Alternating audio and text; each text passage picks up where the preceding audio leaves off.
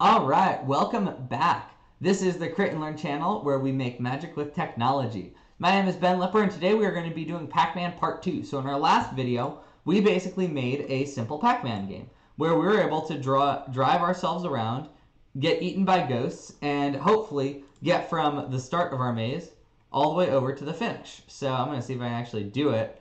Turns out sometimes you make a game that's so hard that even you can't do it, and then you die, and you're like, oh, that's sad. So I'm to give that another try.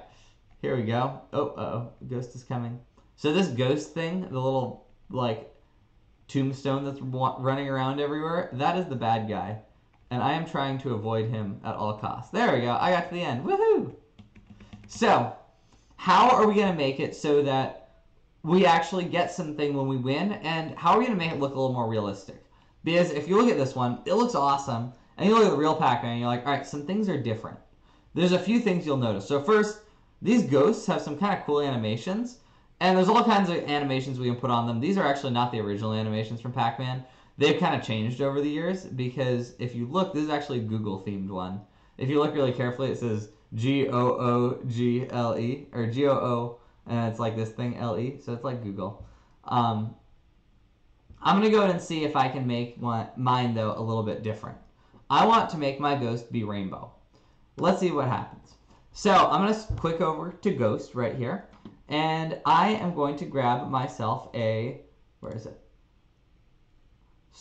Change color effect by 25. There it is. And every time I click that, ooh, look, it's yellow. Now it's green. Ooh, interesting. So I can change my ghost color while he moves. I wonder what happens if I put that in forever block. Let's find out. Oh, whoa, that's really aggressive. He's moving, he's changing color too fast for me. I'm changing by 25. Let me try changing by 5. Now, you might like him flashing that aggressively. I didn't. I think even 5 is too much for me. I want like 2. There we go. I think that looks good. Now, when I, I'm going to go and give this a shot now. Oh, he's not changing color. Why not? I did not add myself a when started block or a when flag clicked. So there we go. Now I've got myself with a flag that or with a ghost who changes colors. This is cool. I think I like this. Game over. I ran into him. Cool. So now I've got myself a game over. I've got a ghost who changes colors. That's super awesome. How do I make it so that I can actually win though? So the key to making yourself win is to have some kind of goal. Now in the Pac-Man, the goal is these dots there are a ton of dots, and they're unfortunately a little bit tricky to make in Scratch. So I'm going to see if I can show you what I think is actually a better way to do it. So instead of eating a whole bunch of dots, really all you need is the ability to eat a few dots, right? So for example, say I make a little dot. I'm going to go ahead and hit hover over this and hit paint.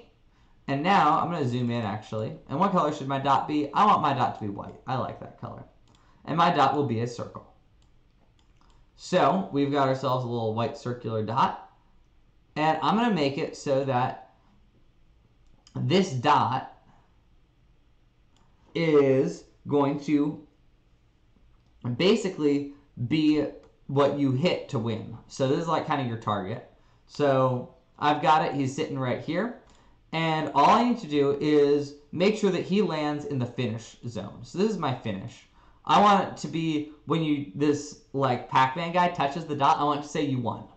So all I need to do is when started, I want him to go there so that in case like somehow he gets dragged somewhere else, like maybe he's oh over there. I hit when started and he's just gonna start where he's supposed to. I don't have to worry about him being in the wrong spot. That's all the code that this guy needs.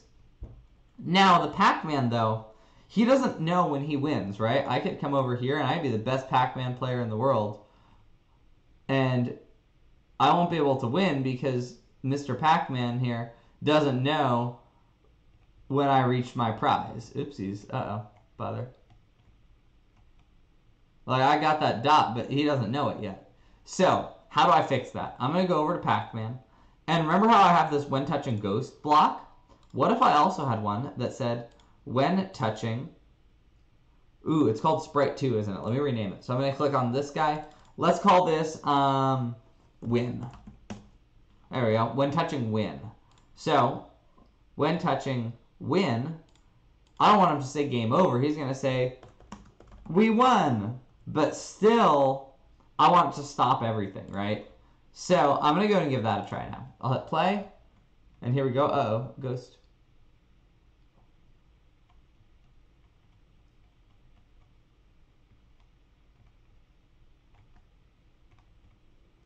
Here we go, almost. We won! Woohoo! All right, and then it stops. So that's great, but maybe this isn't challenging enough for you. What if you wanted more than one ghost? Let me show you the trick for that. So here's our ghost. Here's his code. What if I duplicate the ghost though? Uh-oh, now I have two ghosts. So this ghost, this ghost I am kind of going in the middle here. This second one, I want him where do I want him to go? I'm going to make this one a pretty easy one because this other ghost is so hard. This ghost is going to go up and down in here. He'll go up, down, up, down, up, down, just like that. So remember, this code was this code right here. All that does is that makes him go along the path that he's going along right now, where the other ghost usually goes. So I'm going to throw that away. Goodbye. Now, I'll move him where I want him to start. And I'll grab this. Then I'll move him to the bottom. Then I'll grab that. And if I move him back up to, top, to the top, I notice, hey, this is 83 and 150, 86, 151. It's basically the same place, right? I've landed my ghost right back at the start. So what I'm going to do is I'm not going to grab this one. If you wanted to, you absolutely can. I'm just not going to.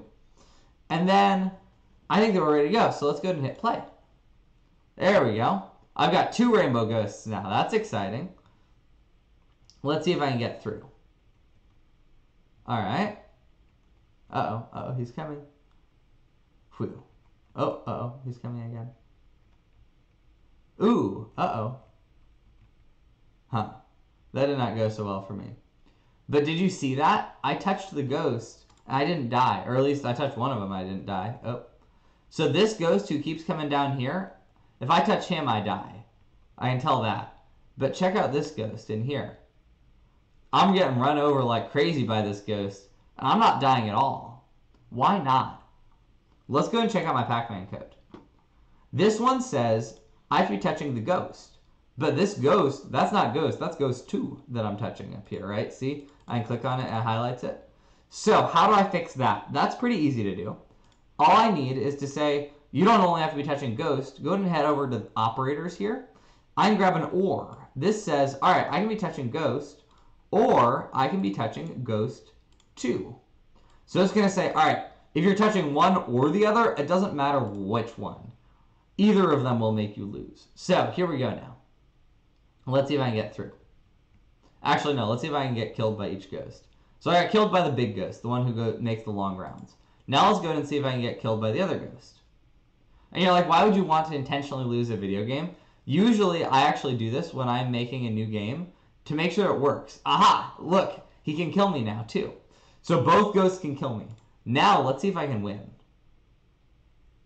Now that I know that both ghosts can make me lose. Oh, I got caught.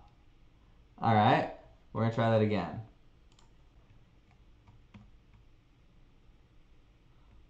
Use a cheater trick in here.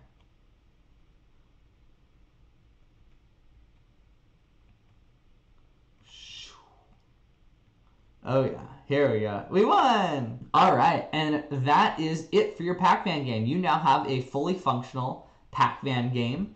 If this video was helpful for you or you liked it, go ahead and give us a thumbs up and subscribe to our channel. Other than that, thank you so much for watching, and I will look forward to seeing you again next time.